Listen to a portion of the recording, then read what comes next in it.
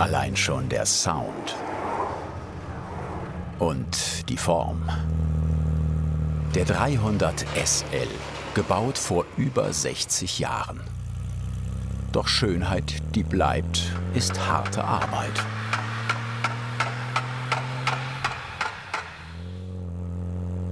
Mehr als das. Handwerkskunst.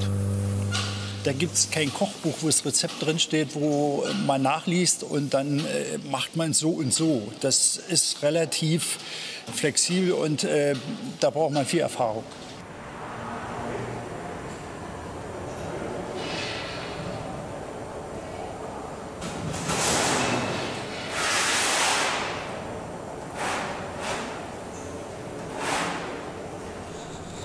So fängt es an. Mit einer Schablone. Aus dem Aluminiumblech wird die Außenhaut eines Kofferraumdeckels werden.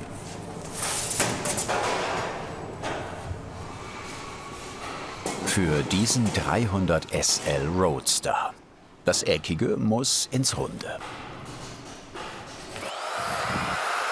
Michael Völkner schneidet das 1,5 mm dicke Blech erstmal in eine grobe Form.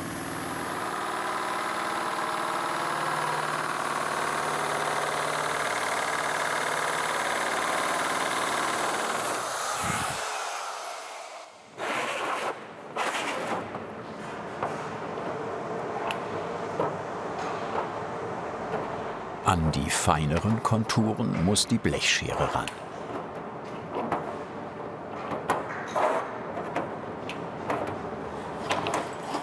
Die scharfen Kanten schleift er stumpf. So weit, so gut. Doch jetzt beginnt die Herausforderung. Der Kofferdeckel ist ja äh, verschieden rund. Das heißt, nach vorne raus ist er relativ gerade und nach hinten stark gewölbt. Äh, das sind die Schablonen, die ähm, einmal den Radius, die Wölbung hier rüber in diese Richtung ähm, vorgeben. Einmal in der Mitte vom Kofferdeckel und dann haben wir den Bereich, in dem wir die größte Verformung haben.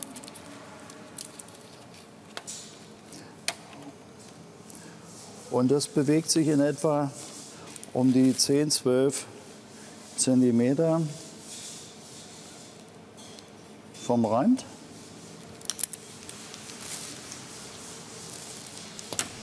An den Linien kann sich Michael Völkner orientieren, weiß, wo er für eine exakte Wölbung mehr oder weniger Druck ausüben muss. Hier an der Maschine, dem Herzstück der Werkstatt, dem englischen Rad. Im 19. Jahrhundert wurde es in England entwickelt, vor allen Dingen für den Karosseriebau, um aus flachen Metallblechen eine doppelte Krümmung formen zu können. Das ist Handarbeit, verlangt Können und Konzentration. Das Grundprinzip ist im Prinzip, dass das Blech verdrängt wird. Also wir strecken das Blech. Und indem wir das an verschiedenen Punkten verschieden stark strecken, entsteht dann die Form.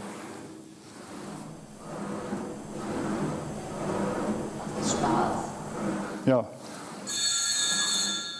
Wenn man sieht, wie es funktioniert und mein, meine Vorstellungen umgesetzt werden, dann ist das sehr schön. Sieht so einfach aus. Ja, daran liegt ja dann auch die Meisterschaft. Ja.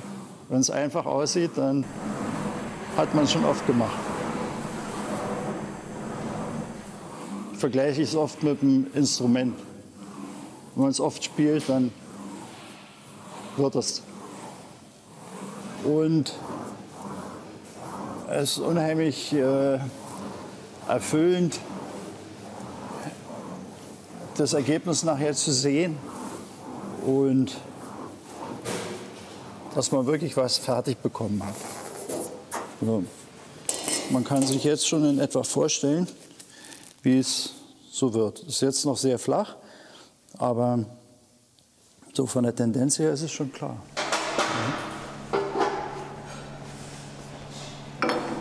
Das ist eine Rolle, die ist jetzt etwas runder als die davor, die wir äh, einsetzen hier in dem runden Bereich.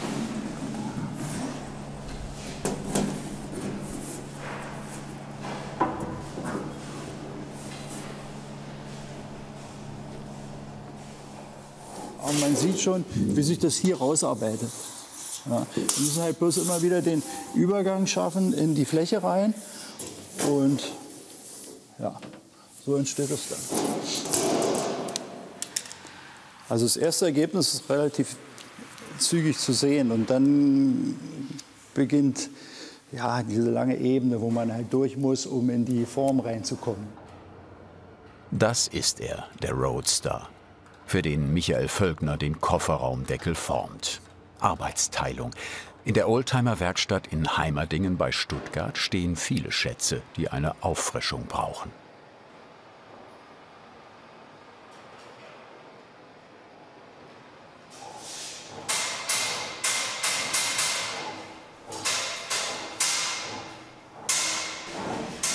Achtsamkeit, Genauigkeit, auch Intuition und vor allen Dingen Geduld.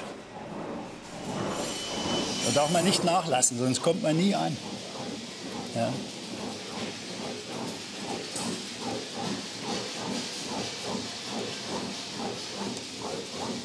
Es gibt am englischen Rat nicht das eine Rezept.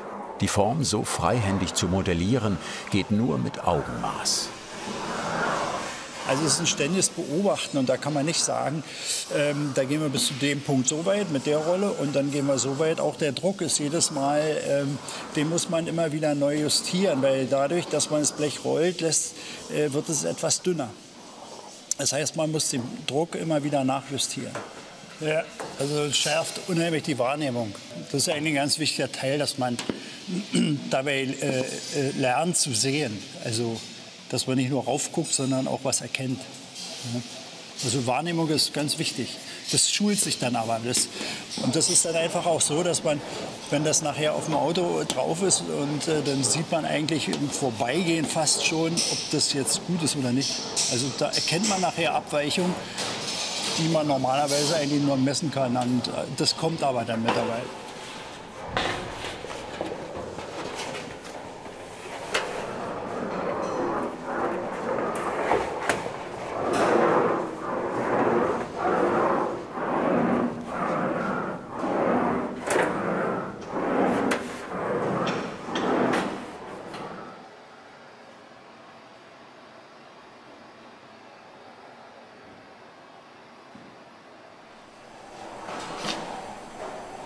ganzen Tag lang muss Michael Völkner am englischen Rad jonglieren. Mit ganzem Körpereinsatz. Bis in seinen Augen die Silhouette der Außenhaut perfekt ist.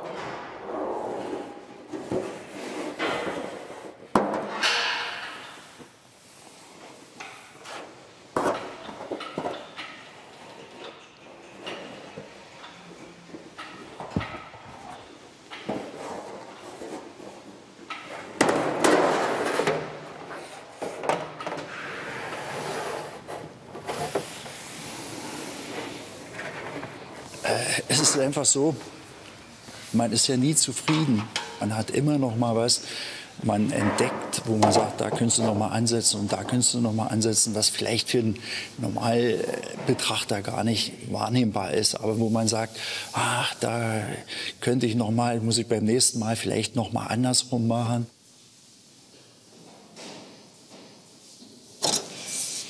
Sieht gut aus. Das können wir so lassen. sehr gut. Handwerkskünstler erkennt man an ihrer Handschrift. Seine auch? Ja.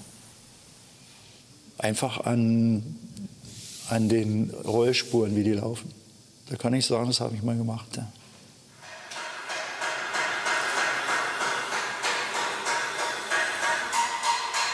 Die Außenhaut braucht einen Rahmen, in den sie eingesetzt werden kann.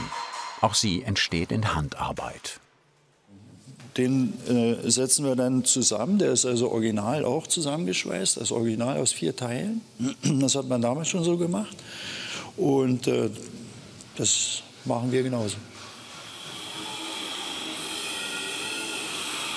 Der Karosseriebauer schneidet die vier Teile aus Aluminiumblech wieder in eine grobe Form. Zwei kurze Blechstreifen und zwei längere.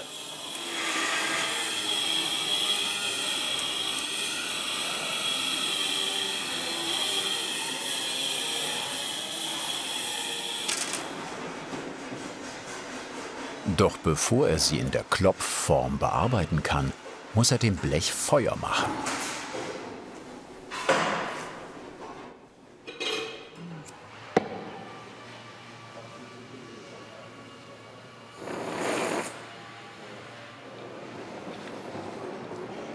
Die Temperatur immer neu einstellen.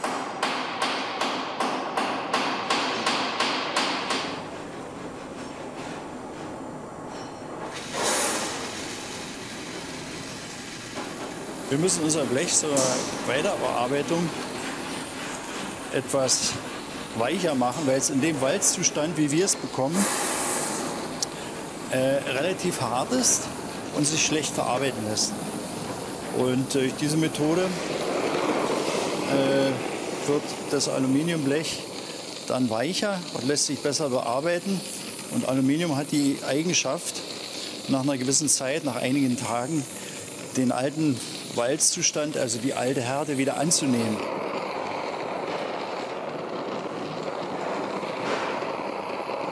Ja, man sieht an, an dem Ruß ganz gut, äh, wie weit man ist und wo man noch mal ein bisschen nachlegen muss. Aber wichtig ist, dass es gleichmäßig passiert und nicht punktuell, weil es dann äh, Unterschiede einfach gibt im Blech, im Gefüge.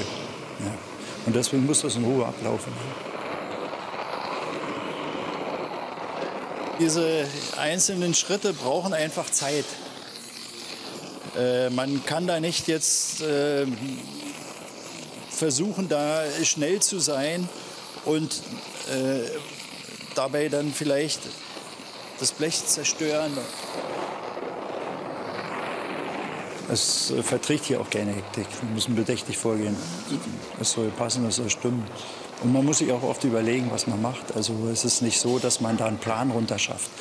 Es muss im Prinzip erst ein Plan entstehen. Deswegen muss man hier und da überlegen. Mhm. Das ist nicht alles Routine. Ne?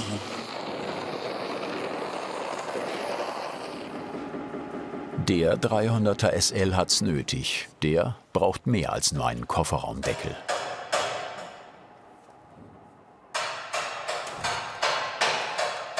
Jedes Modell hat seine eigenen Maße. Für die Rahmen einer Kofferdeckelhaut baut die Werkstatt jeweils eine eigene Form. Diese Vorlage ist speziell für den 300 SL. Mit Stämmer unterschiedlicher Größe treibt Michael Völkner die Bleche sorgfältig in die Form.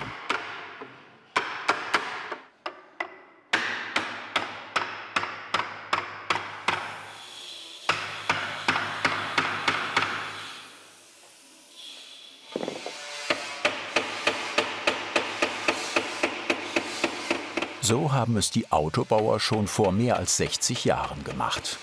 Das meiste in Handarbeit. Das ist es auch, was ihn fasziniert.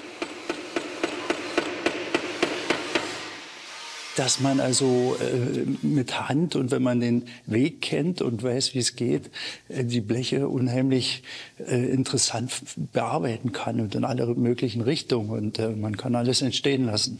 Und das hat mich einfach gefesselt. Nach dem Erhitzen bleibt das Aluminium ungefähr zwei Tage lang formbar. Aber es fällt langsam wieder in seinen alten, starren Zustand zurück.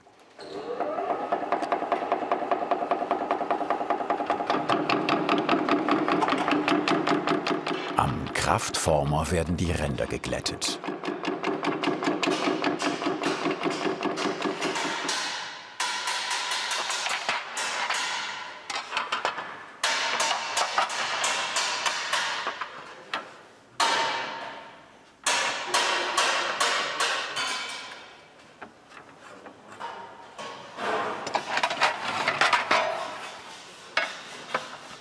Legen.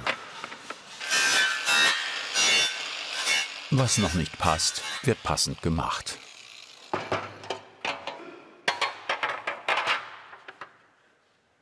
Sieht gut aus, die Übergänge passen und jetzt brauchen wir es nur noch verbinden.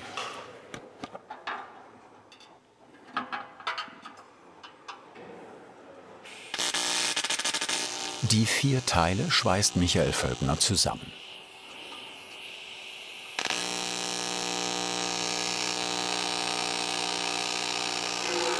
Auch für den Bau eines Rahmens braucht der Karosseriebauer Ausdauer.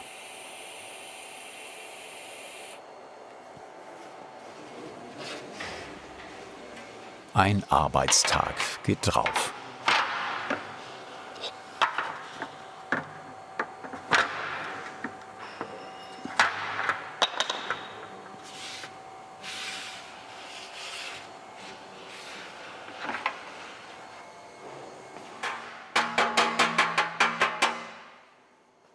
Schon am Klang erkennt Michael Völkner den Zustand des Aluminiumblechs.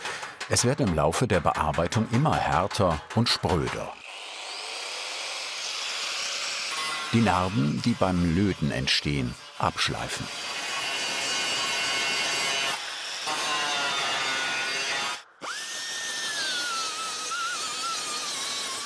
Klingt wie beim Zahnarzt, muss aber sein.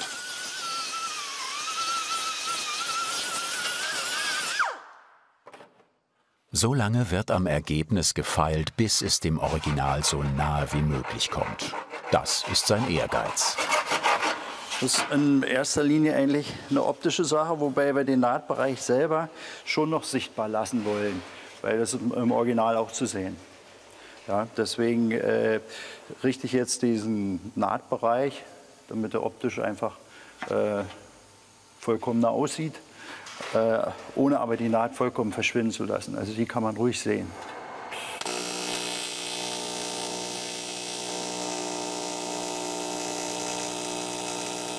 Die Roboter in der Autoindustrie nehmen auf solche Feinheiten keine Rücksicht. Aber das ist eben Handarbeit.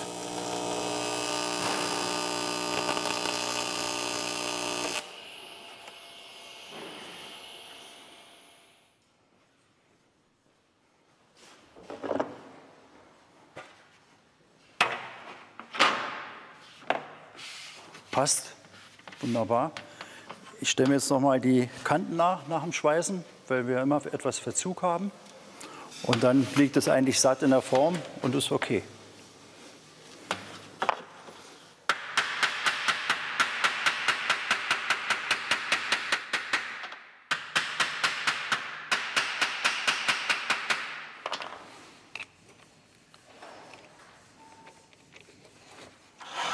Fast ist es schade um das schöne Blech, aber die Löcher müssen sein. Sie sind später für die Scharniere des Kofferraums. Jetzt kommt der Moment. Wird alles zusammenpassen? Der Rahmen ins Auto und später die Haut auf den Rahmen? Passt alles, bis auf Kleinigkeiten, die wir einfach nachkorrigieren müssen. Das hängt einfach damit zusammen, dass auch jeder Ausschnitt etwas variiert. Aber im Großen und Ganzen liegt es wirklich gut bin äh, recht zufrieden, also gleich auf Anhieb äh, sehr ordentlich. Ich muss jetzt den Rahmen noch zur Kontur anpassen. Davor schraubt er noch die Gewindeplatte für die Befestigung des Kofferraumdeckels an.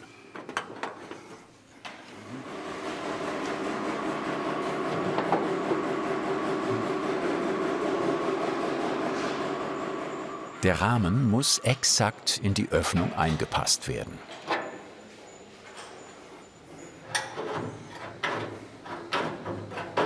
Das überschüssige Blech frisst die Blechschere.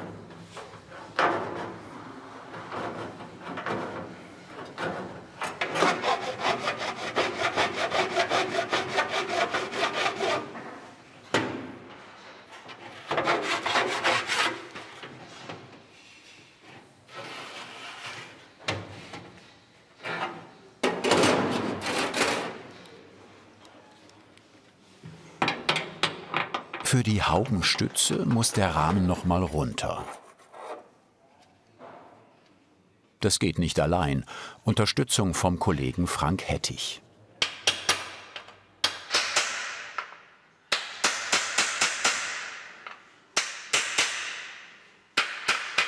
Wir haben den, ähm, die Haubenstütze angenietet, weil die müssen im geöffneten Zustand fixiert sein. Und äh, das muss man vorher machen, weil man später, wenn die Haut drauf ist, nicht mehr rankommt. Jetzt muss aber mal die Klappe drauf.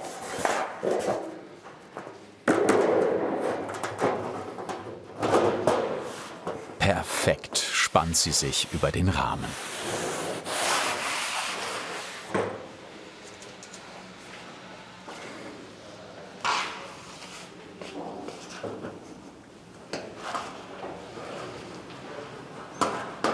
Festschrauben reicht nicht. Die Haut muss der Autobauer auf den Rahmen punktschweißen. Eine Methode, bei der durch Druck auf einer kleinen Fläche und unter elektrischer Spannung eine feste Verbindung entsteht.